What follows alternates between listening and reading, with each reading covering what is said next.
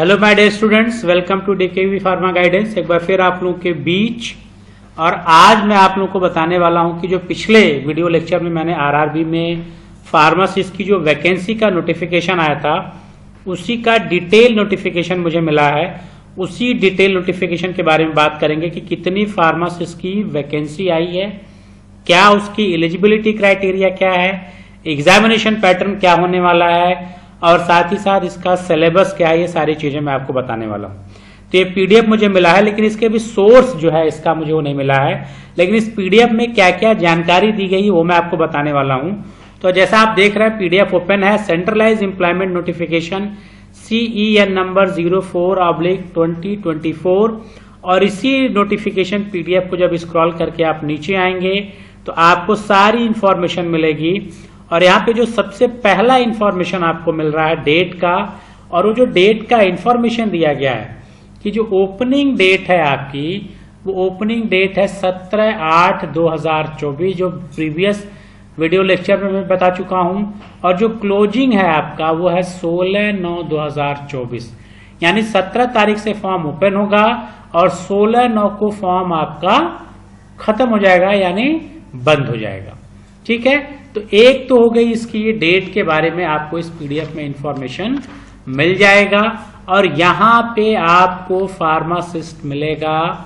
आपको देखें तो तेरह नंबर पे फार्मासिस्ट इंट्री ग्रेड और जिसकी एज दी गई है twenty two thirty eight year minimum बीस और मैक्सिमम थर्टी एट और जो वैकेंसी आई है, वो वैकेंसी आई है टू फोर्टी सिक्स यानी दो सौ छियालीस पोस्ट आपकी यहाँ पे देखने को मिल रही है। बहुत ही बड़ी वैकेंसी है और अगर आप अच्छे से तैयारी करके इसको देंगे तो आप सेंट्रल गवर्नमेंट के अंदर आप जॉब पा जाएँगे। ठीक है? तो ये आपकी 246 पोस्ट आपको यहाँ से मिल रही है। अब इस पीडीएफ को नीचे स्क्रॉल करके आएँगे तो आपको तमाम इंफॉर्मेशन मिलेगी। इंपॉर्टेंट इंस्ट्रक्शन में पहले लिखा है कि जो फॉर्म फिलअप होगा वो ऑनलाइन मोड से ही आपका होगा और ऑनलाइन मोड में ही आपको कराया जाएगा। अब ये जनरल इंस्ट्रक्शन आपको दिया गया है, ये सारी चीज़ें आपको मिलेंगी और यहाँ पे आपको इस तरह से स्क्रॉल करते हुए जाएँगे। ये डिफरेंट रीजन आपको दिए गए हैं डेट ऑफ़ बर्थ का इशू दिया गया है कि जो एज की जो काउंटिंग होगी, कब से एज की काउंटिंग होगी?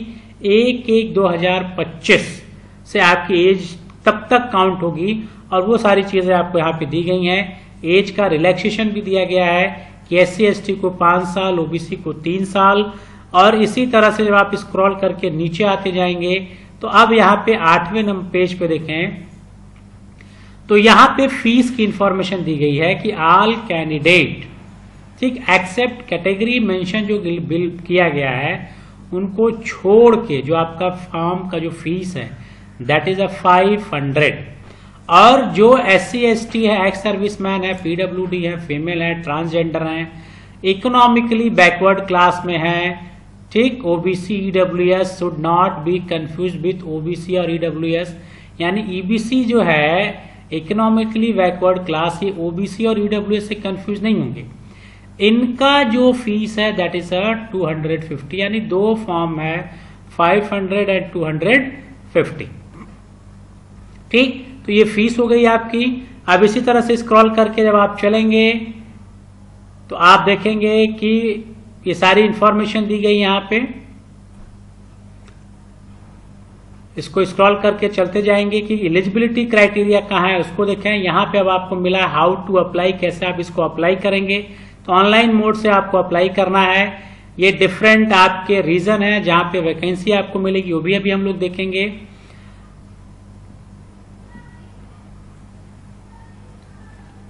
अब देखते हैं कि कितन की पोस्ट आपकी है और क्या उसकी एलिजिबिलिटी क्राइटेरिया है। तो यहाँ पे एनेक्सर ए में आपको मिलेगा उसके बारे में जानकारी। तो इसको स्क्रॉल करके देंगे। 11 नंबर पे अगर आप देखें तो सबसे इंपॉर्टेंट चीज़ अब आपको यहाँ मिलने वाली है। 11 पे फार्मासिस्ट एंट्री ग्रेड यहाँ पे मिलेगा सी टू कैटेगरी के। और जो एलिजिबिलिटी क्राइटेरिया दिया टेन प्लस टू और equivalent with diploma in pharmacy यानी एक चीज़ तो क्लियर हो गया कि डी फार्म वाले बच्चे इसको अप्लाई कर सकते हैं। सेकेंड और फिर यहाँ पे लिखा गया registered as a pharmacy act 1948 D pharm के साथ आपका फार्मेसी काउंसिल में रजिस्ट्रेशन भी होना चाहिए। सेकेंड बैचलर डिग्री फार्मेसी और रजिस्टर्ड फार्मासिस्ट यानी ये पोस्ट डिप्लोमा और बैचलर दोनों के लिए है। लेकिन कंडीशन ये है कि दोनों रजिस्टर्ड फार्मासिस्ट होने चाहिए। तभी आप एलिजिबल होंगे। यानी अगर डिप्लोमा टू ईयर का किया, तब भी आप एलिजिबल हैं और बैचलर आपने किया है फोर ईयर्स का, तब भी आप इस पोस्ट के लिए एलिजिबल हैं और इस पोस्ट को आप फिल कर सकते हैं। तो ये सबसे इंपॉर्टेंट चीज़ थी आपकी एलिजिबिलिटी क्राइटेरिया यानी डी और बी दोनों कैंडिडेट यहाँ पे एलिजिबल हैं। आप दोनों कैंडिडेट यहाँ पे आप देख सकते हैं। अब यहाँ पे अगर आप देखें तो इस पूरे यहाँ के इक्कीस से जब एनेक्सर बी में तो आपको पोस्ट वाइज मिलेगा कि कहाँ पे क्या है, जैसे आप देख रहे हैं अहमदाबाद, फिर आप इसी तरह से आएँगे प्रयागराज। जैसे प्रयागराज में आप देखें तो प्रयागराज में फार्मासिस्ट की आपको वैकेंसी दिख रही है, ये ग्यारह नंबर फार्मासिस्ट की वैकेंसी आपको दिख रही है, और अनरिजर्व ये आपका वन थ्री वन फिर इसी तरह से आपको टोटल पोस्ट जो आपको दिख रही है। ये फार्मासिस्ट पाँच, दो, सात, एक, आठ पोस्ट तो ये आपको प्रयागराज में आपको आठ पोस्ट मिल रही है। इसी तरह से सब, फिर आप इसको नीचे स्क्रॉल करके जब आएँगे तो डिफरेंट आपके रीजन में आपको यहाँ पे फिर मिल रहा है। आप देखें, अजमेर में आपको सात पोस्ट मिल रही है। इसी तरह से स्क्रॉल करके जब आप आएँगे, फिर देखें आपको बैंगलोर में आपको 27 पोस्ट मिल रही है। फिर इसी तरह से स्क्रॉल करके आएँगे तो फार्मासिस्ट ग्रेड आपके भोपाल में तीन तीन छह पोस्ट मिल रही है। इसी तरह से आप पूरे रीजन वाइज आप देख सकते हैं कि फार्मासिस्ट की कितनी वैकेंसी आपको मिल रही है। यहाँ पे देखें, आपको चंडीगढ़ में आपकी आठ पोस्ट होने वाली है। तो ये सारे आपको पोस्ट मिल जाएँगे। अगर आप देखें, चेन्नई में सबसे ज़्यादा पोस्ट अभी आपको दिखी थर्टी वन पोस्ट आपको दिख रही है। इसी तरह से आपको हर रीजन में आपको मिल जाएगा और आप ये चीज़ों को देख सकते हैं। ठीक, इसी पीडीएफ में आपको रीजन वाइज मिल जाएगा। अब आपका मिलेगा यहाँ पे syllabus for the various post. अब आपका सिलेबस क्या होने वाला है, ये देखें तो फार्मेसिस्ट ग्रेड में अगर आप सिलेबस देखें तो सिलेबस में आपको ये सारी चीज़ें दिख रही हैं, ये आपको दिख रहा सिलेबस। तो जितना भी आप देखें, human anatomy, pharmaceutical analysis, pharmaceutics, pharmaceutical inorganic chemistry, remedial biology, mathematics, pharmaceutical organic chemistry, computer application environmental science microbiology pharmaceutical medicinal तो आप जो बैचलर ऑफ़ फार्मेसी का जो सिलेबस देखते हैं, वो बैचलर ऑफ़ फार्मेसी का सिलेबस आपको यहाँ पे पूरा देखने को मिल रहा है, जो मुझे लग रहा है बायोटेक भी है, आपका क्वालिटी एश्योरेंस भी है तो आपको बी फार्मा का जो सिलेबस मिल रहा है, वो एंटायर सिलेबस आपको यहाँ पे देखने को मिल रहा है। तो ये सिलेबस भी आपको मिल रहा है कि क्या क्या सिलेबस आपका आने वाला है, ये सारी चीज़ें।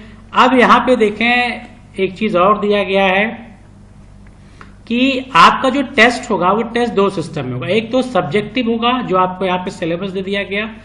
दूसरा आपको यहाँ पे दिया गया है कि एक कॉमन फॉर ऑल सबके लिए एक कॉमन पेपर होगा। यानी जब आप एग्ज़ाम देने जाएँगे तो दो पेपर होंगे आपके। ठीक? एक तो सब्जेक्टिव आपको मिल गया, वो, और एक कॉमन होगा, जिसमें general arithmetics intelligence and reasoning general awareness और जनरल साइंस ये सारी चीज़ें दी गई हैं आपको। ये भी आपको पेपर देना है, यानी यहाँ आपको दो पेपर देने एक सब्जेक्टिव एंड साथ में कॉमन पेपर है, जिसमें आपका अरेथमेटिक यानी एलिमेंट्री मैथमेटिक्स आपको दिख रहा है। जनरल इंटेलिजेंस आपको मिल रहा है। अवेयरनेस का जो करंट अफेयर है, और जनरल साइंस मतलब physics chemistry and life sciences से up to ten standard CBSE जो का सिलेबस है, उससे आपको कुछ जनरल साइंस के क्वेश्चंस भी आपको पूछे जाएँगे। ठीक? अब यहाँ पे कुछ फॉर्मेट्स दिए गए हैं। आपको जो भी फॉर्मेट्स अगर आप देखें तो जो आपको फॉर्मेट है, जैसे ओबीसी नॉन क्रीमी लेयर का तो ये आपको सर्टिफिकेट आपको यहाँ से मिलेगा।